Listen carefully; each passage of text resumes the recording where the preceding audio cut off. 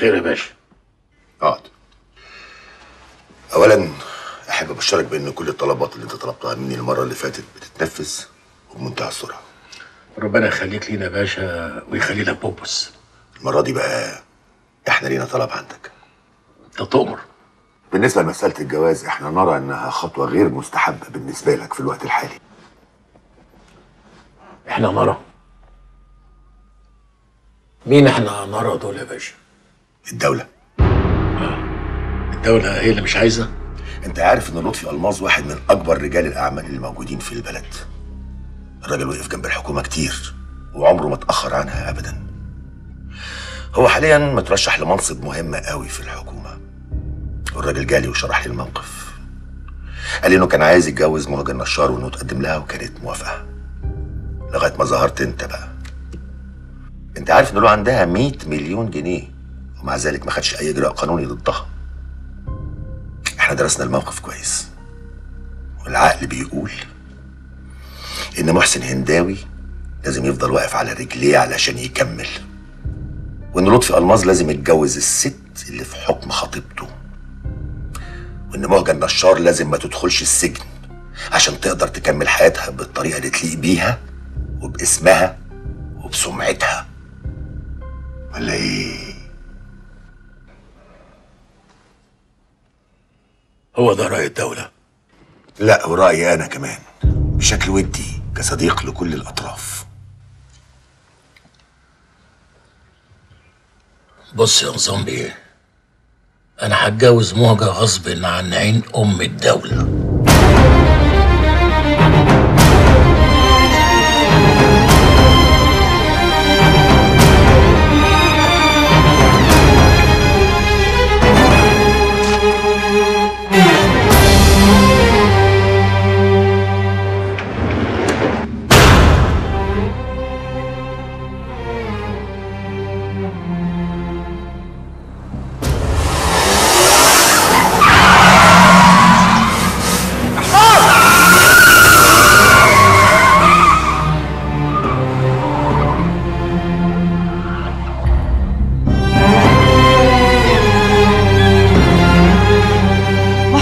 اتأخرت كده ليه؟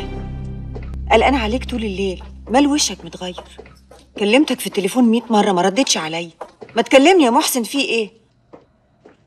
حصل حاجة؟ أيوه يا راجل. أنا كنت واثقة إنك ما نمتيش. ألف مبروك يا موها. لطفي كمان ما كانش عارف ينام ابدا. أصله لما عرف الحقيقة بقى اتصرف على طول. هو اللي خلصك من الراجل الواطي اللي اسمه محسن هنداوي انت رايح فين؟ أنا ماشي وسايبني؟ أنا سايب البلد كلها ده كله عشان أتجوز لطفي ألماظ مش كده؟ بص يا موجة أنت مش حمل السجن ولا حمل النوم على البلاط ولا أنا كمان كل واحد يروح لحاله أحسن حسبتها يا محسن بيه؟ أنا ما حسبتهاش علشاني أنا حسبتها علشانك أنت. أنا جيت بوصل لك كل حاجة. أنا همشي. المركب لما تغرق كله بينط منها. وأنت بقى عايز تمشي لوحدك وتسيبني؟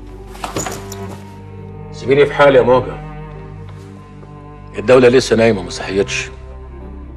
خليني أطلع منها على خير. رجلي على رجلك.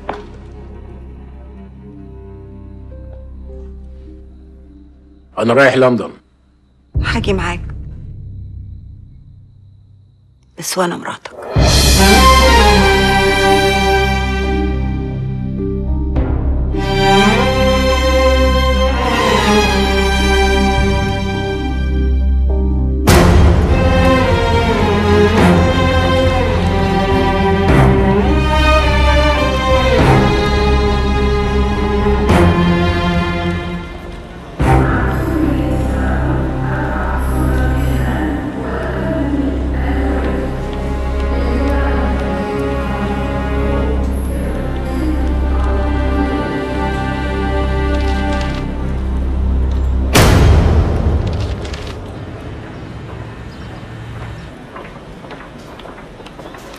محسن بيه هنداوي؟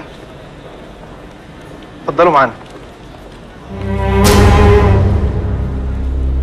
محكمة!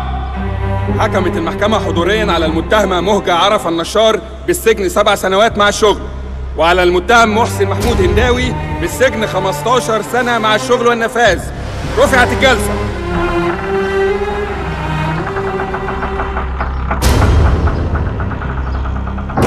يا سيدي ده سجن. مش منتجع سياحي؟ دول طلبوا موبايلات دخلنا لهم. بلازمات لابتوب. ده إحنا اشتركنا لهم في النت. لا لا لا ده كتير كتير. الله الصحافة تقول عليا إيه؟ أحتفل بعيد ميلاد سجين. واجيب دينا ترقص وسعد الصغير يغني البلح البلح البلح. نعم. أؤمر يا محسن بيه. أنا عامل اضراب وببلغ حضرتك رسميا بكده. إضراب؟ أيوه. اشمعنى أنا اللي مش هعمل إضراب؟ أي حد بيعمل إضراب بيبقى له طلبات. إيه اللي ناقصك؟ يا سيدي الطلبات جاهزة. ده قانون حق المسجون. شوف يا سيدي أنا معلم عليه بالقلم الاحمر من حق أي مسجون متزوج أن يرتقي بزوجته اللقاء الشرعي مرة كل 45 يوم يعني 8 مرات في السنة. أنتوا ليكوا عندي 10 سنين سجن. أنا ليا 80 مرة. إحنا نقسمها بقى بدل ما يبقوا 80 مرة على 10 سنين نضربهم في شهر واحد ونخلص. أنا فين ما أنا عندكم؟ أنت بتقول إيه؟ ده سجن محترم مش شقة مفروشة. طيب. أنا بحملكم المسؤولية كاملة. أنا هبلغ جميع جمعيات حقوق الإنسان. هبلغ جمعيات الدفاع عن بتاعت سجناء الرأي. مين؟ مين؟ سجناء الرأي. هوصلها للأمم المتحدة. هبلغ أوباما شخصيا. حرام. حرام عليكم أنا بعمل حاجات ما عملتهاش من أيام ما كنت في الإعدادية. آه. حرام.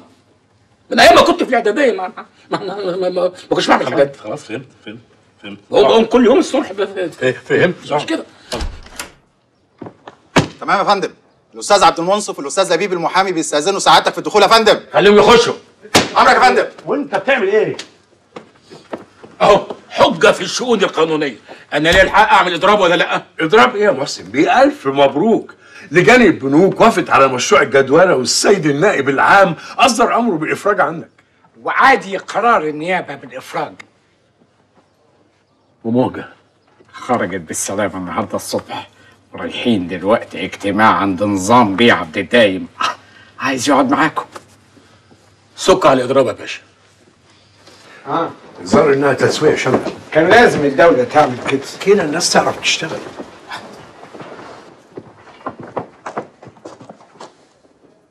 زي ما قلت لحضرتك كده ده مش مجرد تصالح ده عبور اقتصادي لأن الاقتصاديات بتأثر على الصلاحيات في في السكاس مستكيتس هو هنا اجتماع اللجنة؟ هو هنا اجتماع اللجنة؟ لا آه، آه، هنا موقف أحمد حلمي. آه. اتفضل. أمال موج هانم فين؟ ولا أنا شايف محسن بيه.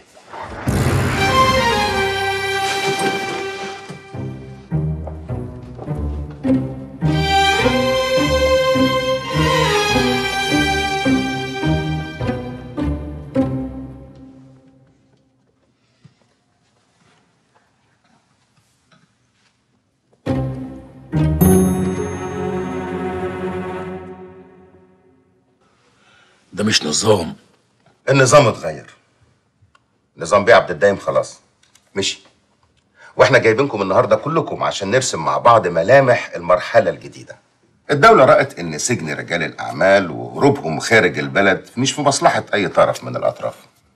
عشان كده بعد التسوية والتصالح اكتملت أضلاع المثلث. الحكومة، رجال الأعمال، الشعب. عشان كده لازم نتكاتف كلنا ونوصل بسفينة الوطن لبر الأمان. وإحنا نرى الله إحنا نرى برضو إحنا ما تعرفناش بسيادتك فكري فكري جديد الأمور ده